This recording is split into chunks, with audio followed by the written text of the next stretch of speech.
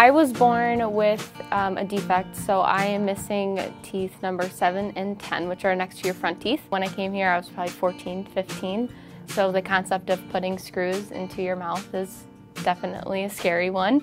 But we talked through, we, you know, worked out the anxieties. Just talking in depth really helped understand why I had the condition I had and how we were going to go forward with that. I did get a, a follow-up video in a text message, which was really nice. Um, I've never had a dentist, out of all the dentists I've seen, I've never received a text message like that, and it was really nice. Just genuinely concerned about how I was feeling.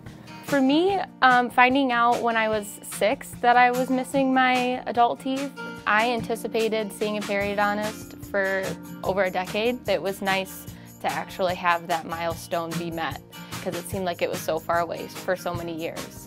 It's funny because I explained it to Dr. Pick and I explained it to um, all of his, his assistants and I wrote him a letter. After my surgery, I ran my tongue from side to side and I felt all the roots of my teeth.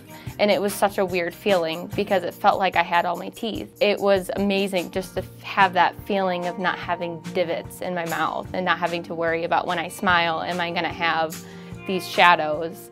Just walking out after my implant surgery was just amazing. It was the best feeling ever.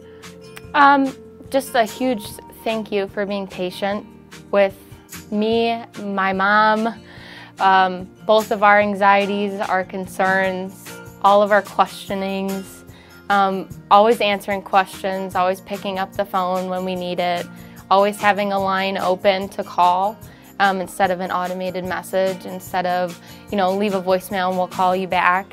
Having that availability to call and then immediately talk to somebody if you need something, if you're concerned. That was really helpful. I really appreciated that. Just to have that lifeline there was so nice. And I think that that's something that this office should be recognized for because uh, I have not seen another office do something like that with his history with laser gum surgery, I kind of expected the plaques when I walked in.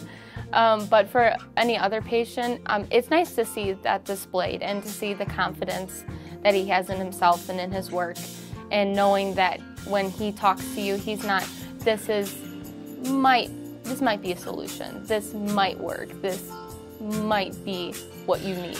He tells you straight up, straightforward, this is what you need, this is what's going to happen. I know this will work 110%. If it doesn't work, you come find me and I'll fix it.